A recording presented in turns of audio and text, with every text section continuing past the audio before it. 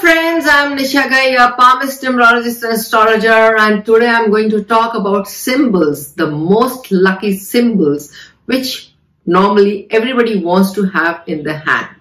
As a palmist, I always say that symbols and signs are very important and we should not neglect them when we are watching and looking at somebody's hand because they bring a lot of luck in our life.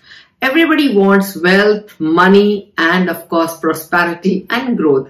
If one has these symbols in the hand, then one can have all that one is looking for. I believe that lot much depends on these symbols. Yes, our destiny, our progress, lot of future prediction depends on these symbols. If you have them, then you are one of the lucky guys. So just keep looking at your hand as I'm showing you. So first of all, I am going to talk about temple.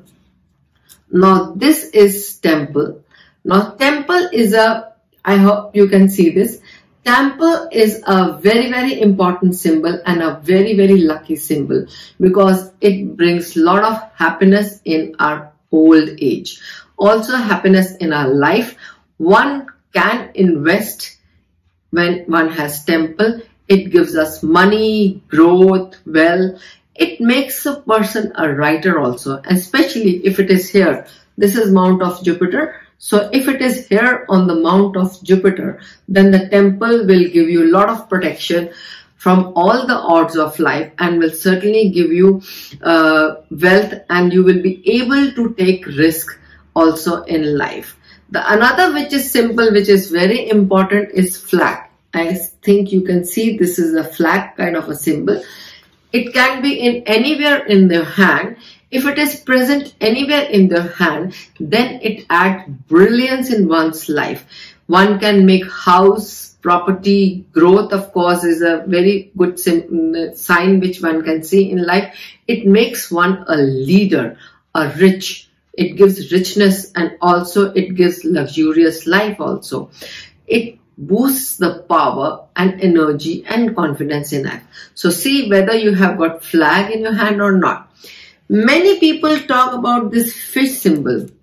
This is the fish symbol which normally we see uh, everybody wants in hand because fish is talking about lot of money, lot of richness and also sudden gains in life.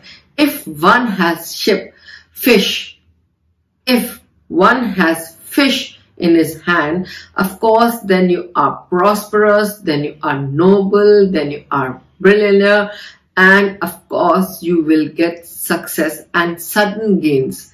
There will be sudden gains which you are not expecting also. These kind of gains are seen when the fish is there. But fish has to be complete like this.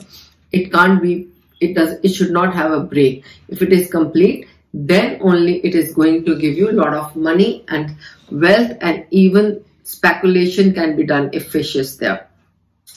Another very important symbol I'm talking about is swastik. Swastik is a symbol which makes one religious, which makes one noble. If one has swastik in their hand, then one is spiritual. It brings good luck. It's a symbol of no nobleness Many religious leaders have swastik in their hand and that is why they are popular in that field and of course it also gives divineness in the person. Swastik is a very important and auspicious Indian symbol in the hand. Another very important Indian symbol which I'm going to talk is bow and arrow. Now bow and arrow means if you have this kind of a bow and arrow in your hand, then of course it is protecting you from all the odds of the life.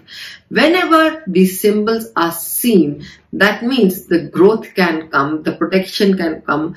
Bow and arrow gives fame. It gives protection. It also gives self-discipline. It also gives energy to fight, you know, fight from all our odd of our life from all odds of our life. So these signs are not very easily seen in anybody's hand.